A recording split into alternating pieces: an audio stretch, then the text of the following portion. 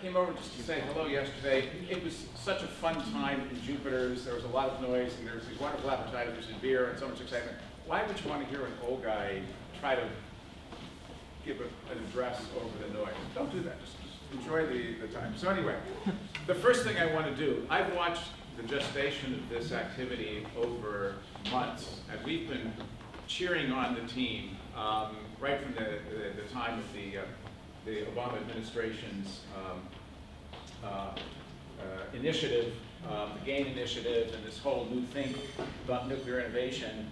And um, Rachel taking the bull by the horns and moving this thing forward. It's been an immense amount of work. Uh, we've been cheering her on, and the whole team has been helping her. The first thing I want to do before anybody forgets it is to thank the people that did this. I want to thank Rachel, thank Sarah, thank, thank Tim. And I'm afraid I'm going to forget everybody. I want to thank uh, Kathy and so on. Who else? Rachel. Oh, Carolyn, yes. So anyway, thanks very much for doing this.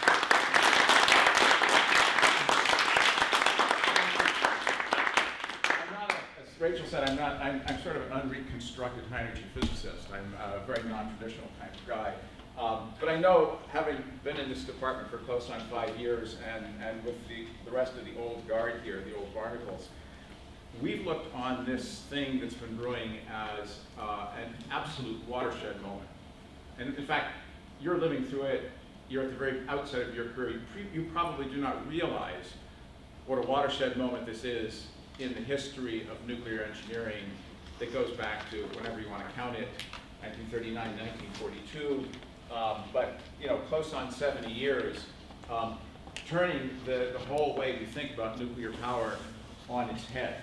Um, and I think people are going to look back at this moment in history um, when very young people with very new ideas uh, came in and um, you know, really developed an entirely new entrepreneurial outlook to it.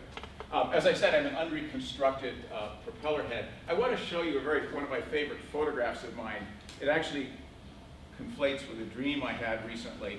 Um, I spent several years uh, working in Brussels um, uh, every spring for the European Commission as part of their uh, expert reviewers, their framework program. And we had one evening a conference dinner at the Hotel Metropole. How many of you know Brussels or hung around there? You, ever, you know this famous, it's one of these old world, opulent uh, hotels, plush carpets, mahogany everything. And um, you know, I remember after going there the first time, I'd always grab one of my friends to go over there, like, like making a pilgrimage. And you go up there, and of course the footmen very politely are there to deflect riffraff like me away. Unless, in your broken French, you would go up and you'd say, I want to see the photograph. And of course, oh, at that point, you were ushered in with great pomp and circumstance into this room, where one of the most famous meetings in history of physics took place in 1911. It was the Solvay Conference, when the entirety, it's like the New York Yankees of the world of physics is there. There's Einstein, there's Lord Rutherford, the father of nuclear physics, there's Max Planck, there's Hendrik Lorentz, there's Madame Curie, Pierre Curie, everybody was there. This was kind of a watershed moment in, in, uh, in history. And everybody goes into this conference room where, where this, the revolutionaries of 20th century physics uh, met there for this famous conference in 1911. And I, I, had this dream the other night that 100 years from now, people were going to be going over to Jupiter's Beer Hall, and they were to make a pilgrimage to look at a photograph on the wall, and it would be you, with Rachel playing the role of Madame Curie. So these were the revolutionaries that saved the planet uh, from uh, basically uh, uh, stewing in its own carbon, and the revolution began here in Berkeley in 2016 with the first uh, innovation boot camp. Anyway, I love this photograph. Um, let me tell you a little bit about our, our, department. We're a small department. We're described as kind of punching above our, our weight. Um, we're one of the oldest departments. I think probably the first department in nuclear engineering uh, probably dates from 1956. Uh, we came into existence with two or three others, I think in 1958. I think North Carolina State might have been the first program. Um, We've uh, had a uh, very long and very distinguished career with many very distinguished people who come through our, our department. We had a reactor in the basement, uh, a TRIGA reactor in the basement of Etcheverry uh, up until 1990. I hope you get a chance, if you haven't already, to go over and take a tour of Etcheverry and meet some of the faculty over the next couple of weeks. Um, we are about eight FTE faculty with about another equal number of professors and residents, professors in the graduate school, uh, adjuncts and lecturers. It's a very small department compared to our peers, and yet I think we're very uh, distinguished and very highly ranked for what we, we do. Um, my predecessor, Per Peterson, uh, I think many of you know, uh, was on President Obama's Blue Ribbon Commission for America's Nuclear Future, uh, and uh, is, has done many, many things with Secretary Chu and Secretary Moniz in terms of, of nuclear energy as a, on a consultatory basis. I would say if you described our department, we have sort of four pillars which I think we're really excellent at, are kind of our hallmarks. Um, one is fundamental uh, science, uh, fundamental nuclear science. One is thermal hydraulics. Uh, one is reactor physics, including the area that Rachel works in, in high performance computing and algorithm development. Um, and then nuclear materials, uh, Peter Hosemann leads that. I think these are the areas where the department is most distinguished. A interesting theme, when I think many of you come from schools uh, both in the, uh, the US and the UK, and I think you've probably kind of sussed out that the character of the nuclear engineering department really depends geographically on where you are. Many of you, I think, have been privileged to come from schools um, that are kind of in a region or a, a, district of a utility company that's kind of nuclear rich. And, that, and the companies there, you know, uh, are actually, you know, very much defined in a certain sense or help shape the character of your school, how the pedagogy takes place, what's the curriculum, who are your employers of choice, and so forth. Here, as you know, uh, we're down to one reactor that has now nine years left. Um, it's a state that's been relatively cool to nuclear energy throughout. On the other hand, this is the cradle of the nuclear revolution. Ernest Lawrence invented the cyclotron about a quarter of a mile over there in the Kant Hall. You want to make a pilgrimage to, uh, to over there to, you know, rub the wall uh, and the fourth floor of LeConte uh, is right there. Across the way in Gilman Hall, you have um, where uh, Glenn Seaborg separated uh, plutonium for the first time. Um, in fact, I have another photograph here. I won't show it to you, but a couple of years ago, the people over in the hazardous waste revetment came over to us with a little cigar box and said, you know, we think this is kind of important. It's been sitting here in storage for many years. And it was a little plastic case with a little eyepiece in it. And there was a little tantalum, a little platinum wire with uh, what was purported to be the world's first macroscopic sample of plutonium-239 uh, that was created and separated by Glenn Seaborg. The plutonium was created in, uh, at the cyclotron here at Berkeley and at Washington University in St. Louis. And the separation, the chemical separation, took place at the, the Jones laboratory, the Jones Metallurgical Lab, what was called the Met Lab at the University of Chicago in September it actually began in July, and they had sort of basically invented the, the chemistry, the world's best chemists, created whole cloth, the chemistry, and the separation chemistry for this very new and very unknown element all in the space of three months and created this little thing about the size of a, a flake of pepper. You could actually see it under a microscope. And that is, in fact, the world's first macroscopic sample of plutonium-239. As a consequence, um, this is kind of the birthplace of the DOE National Lab System. Um, Lawrence Berkeley Lab uh, started, depending on how you count, maybe 1931. Uh, Lawrence's cyclotrons were growing exponentially in size and ability to produce radiation. And some point, the university said, you know, uh, uh Lawrence, old boy, this is uh, very fine indeed, but this is getting to be a bit of a bother. You know, we're getting all these concrete walls and bunkers why don't you take your act up the hill? We own the land, go up there, have a nice laboratory. And that became the beginnings of Lawrence Berkeley Lab. Um, after, of course, Oppenheimer and Rutherford and uh, uh Oppenheimer and Teller and Serber um, and Lawrence played a uh, kind of a foundational role in the Manhattan Project in, in World War II. They, it was, it was called uh, Contract, uh, it was Contract 42, uh, the government set up a secret laboratory in Los Alamos, but it basically was an out branch. It was a branch of the University of California. 1952, they set up Lawrence Livermore National Lab, and of course, Sandia National Lab was set up as the engineering lab, partnering with the, um, you know, with the science labs uh, in the nuclear weapons uh, uh mission, uh, with its main campus in Albuquerque, New Mexico, and a, another branch in Livermore, California. And then we have the Stanford Linear Accelerator Center just down the peninsula. So within an hour's drive, within 40 miles, you have four DOE national labs.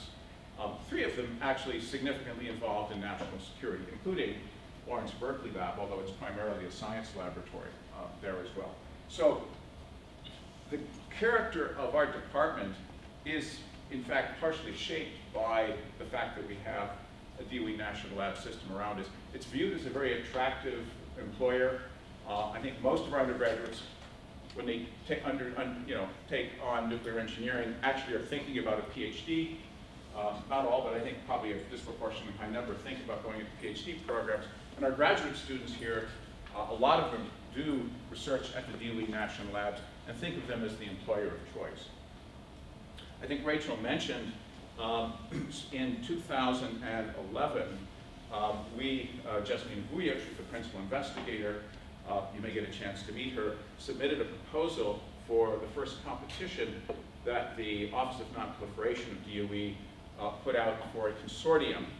Um, um, and uh, it was a new model, kind of an experiment, by which uh, instead of giving out hundreds of individual investigator awards, uh, they were going to award a $25 million center for a consortium uh, of universities and national labs um, that would produce um, and prepare undergraduates and graduate students to go on to careers in nonproliferation in the DOE labs and other federal service.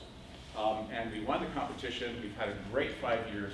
Of, a huge number of people have transitioned into these wonderful career jobs.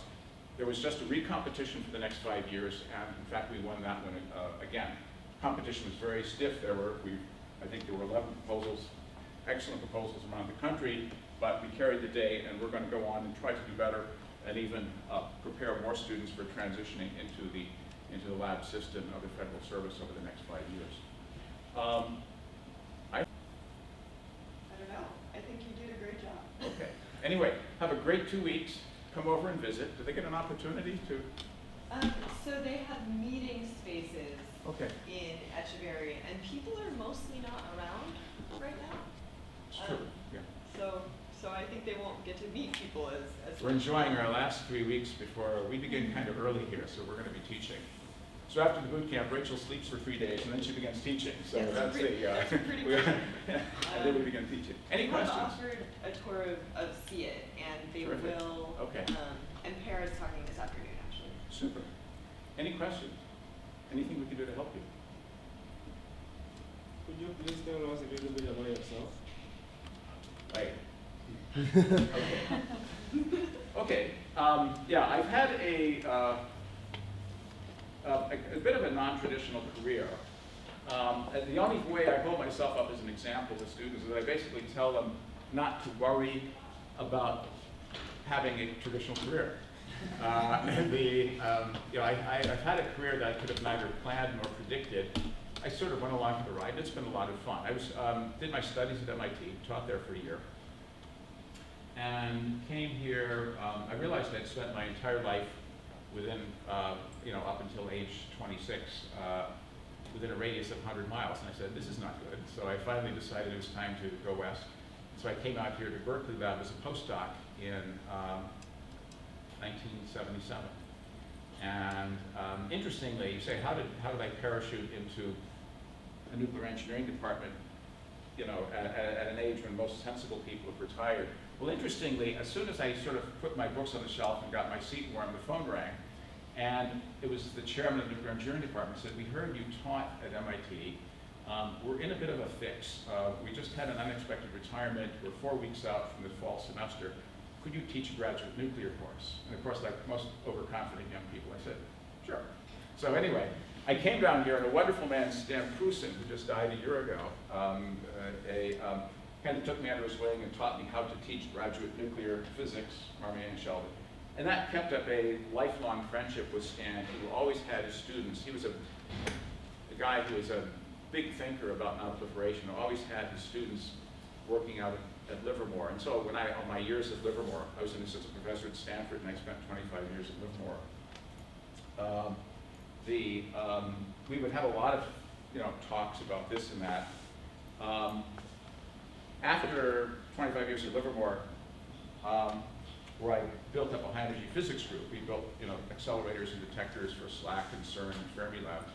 Um, I, I wanted to get back into academia. I just wanted to be a simple college teacher, but nobody would hire me.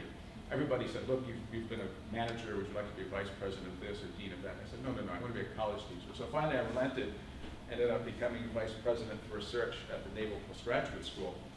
And it was a lot of fun. We had a very close relationship with, uh, you know, in the security space with um, Livermore. And one day the phone rang again. And this time it was Stan Prussin, and he said, now you're in real trouble. Um, we need somebody who can come in. Uh, everybody's burned out. It's a small department. Nobody wants to be chair. Would you like to come and be the chair of the department? And I said, sure. So ba- basically, we spent a year of talking, and I showed up here in January of 12, this was four and a half years ago. Um, I'm still learning the landscape of what nuclear energy is all about today. It's a very, as you know, a very complex landscape. My own research, um, we have an experiment um, I've been uh, working on for 30 years, looking for the dark matter of the universe. You might say, why is such a thing uh, going on in the nuclear engineering department? Uh, our department is very eclectic and very sciencey, but not we're just doing crazy things. We're actually doing things which are kind of technically connected with important capabilities and expertise in the department. And in fact, we're using some of the sort of you know, microwave cavity accelerator things that uh, Professor Kao, along with our department, has built up in this search for, for the dark matter of the universe. So I'm basically, you know, as I say, an unreconstructed particle physicist. If you're down at the CIT, you may just poke your head around the corner. We have a high flux neutron generator there where we're doing more standard, more basic uh, nuclear physics studies. I Um, showed them a picture of it yesterday. Great. Yeah, I've, I've sort of rediscovered the love of my youth, which is neutrons. And so we're actually measuring cross sections for potential future medical isotopes and uh, doing chip testing and lots of other interesting things as well. So um, I love teaching. I just taught the graduate nuclear course that I taught a long time ago uh, uh, for the first time in close to four decades. Stan didn't quite make it to help me the second time, but it, I think it came off passably well. Um, that's basically what I do. I'm having a ball, and uh, my greatest joy is hiring wonderful young faculty like Rachel and Max and, and people like that. Uh, so, uh, and we're, we're in the midst of a, a little bit of a hiring right now as well. Any other questions? Great, have a great two weeks here.